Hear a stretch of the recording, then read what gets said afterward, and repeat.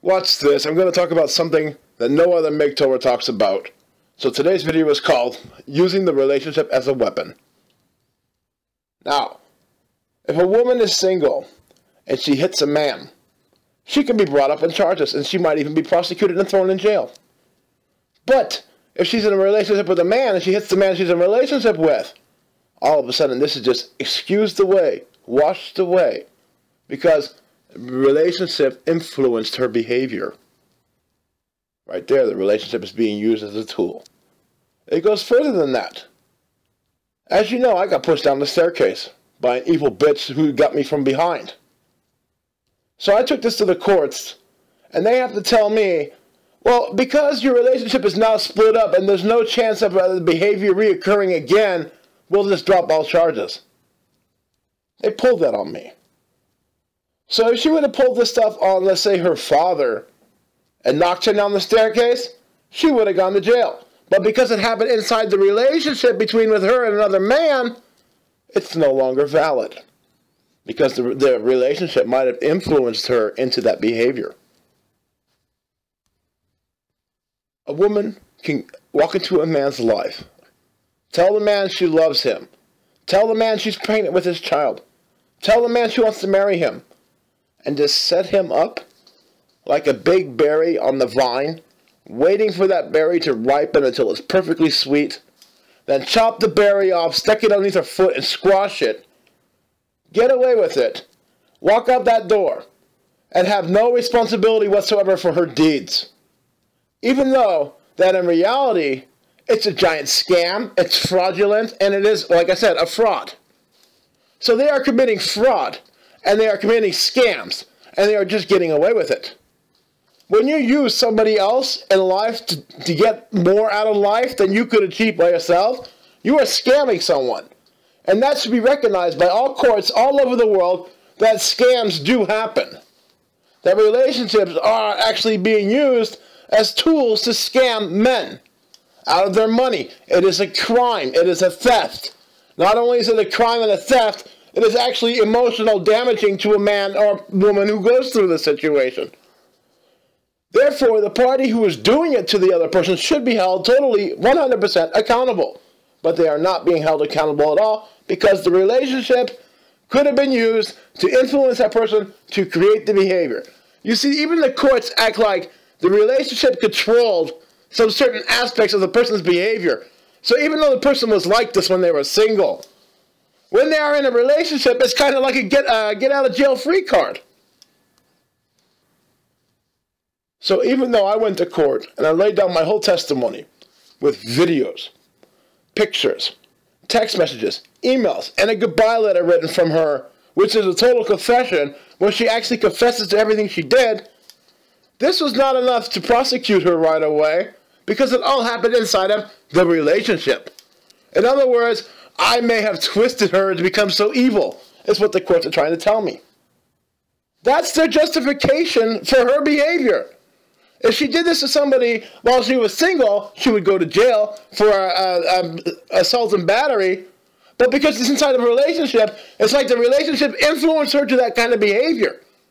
Is that completely insane, folks, or what?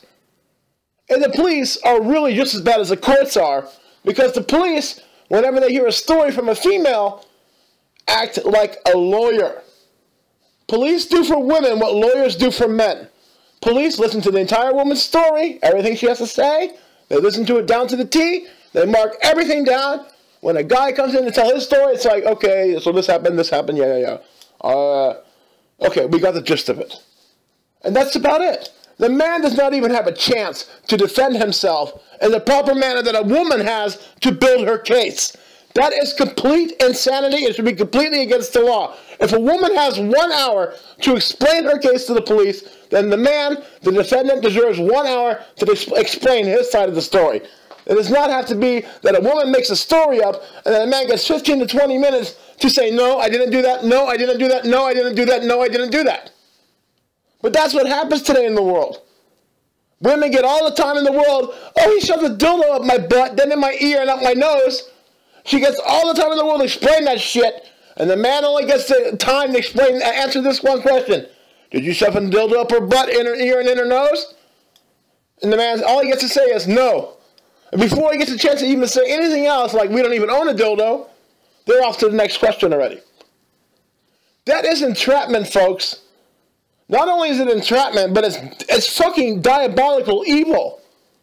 If a woman gets one hour to tell her story, the man deserves the same hour. There's no, this is complete nonsense in the world. And I know many men out there who've never been experiencing the false rape, which will be happening to many more men to come. Mark my words on it. When a man experiences this, then he'll know what I'm talking about on this video. A lot of you men go out there and have one night stands and you keep getting lucky. You're lucky. One day it will catch up to you. But now you're lucky. And when that day catches up to you, you know what I mean.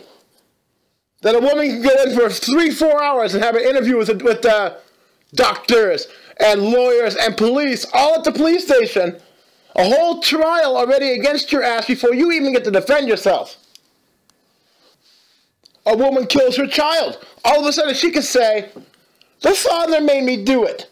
Me and the father are having problems, so therefore I killed the, the kid out of revenge. And she gets away with it, as if the relationship justifies a woman's behavior. A woman's behavior is no different while she's single, while as if she is in a relationship. She should be held responsible just the same in both ways. There is no more, this, this, this stupid bubble of relationship must die.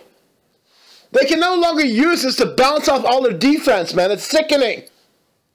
While a father is good to his children for the whole 10 years he's married, the woman gets it into her head to get divorced, to take his money away. All of a sudden, she can just claim he was a bad dad for the last 10 years when he was the best fucking father ever. Do you see how that works? Do you really think that men are be going to jail by the thousands lately? And committing suicide by the thousands lately if they had a fair trial? They don't have a fair trial. There is no trial. It's her word versus your word, and your word means shit. And even if you come with evidence and videos and, and, and letters and, and just everything you can think of to crucify this person, the, the judge will just say, the relationship must have influenced her to do bad things. The police will say, the relationship must have influenced her to do bad things. So even though this person is completely fucking evil, has conned the man into believing in her, because the guy, that's how, that's why we even call the guy simps. Think about why we call the guy simp. Because he loves a girl, he trusts a girl, he respects a girl, and because he does those things, he's now the simp. So in other words, if you're not evil, you're a simp. If you fall in love and do everything you're supposed to do according to nature, you're a simp. You have to be evil with these bitches. You have to become what they are. That's why I always say in those other videos, don't become what women want you to become. Because they want to corrupt your soul, man. They want to kill you. They have no love for you. They have no respect for you. Could you imagine how, how they would feel if we treated them the same way? We give them no love, no respect, no caring, no mercy, no res- no just get rid of them. If we treated them exactly the same way they treated us, could you imagine how they would feel? But our entire legal system is based on their opinion. I have to hear from a judge how my relationship failed in the first month when I damn well know it failed in the seventh month.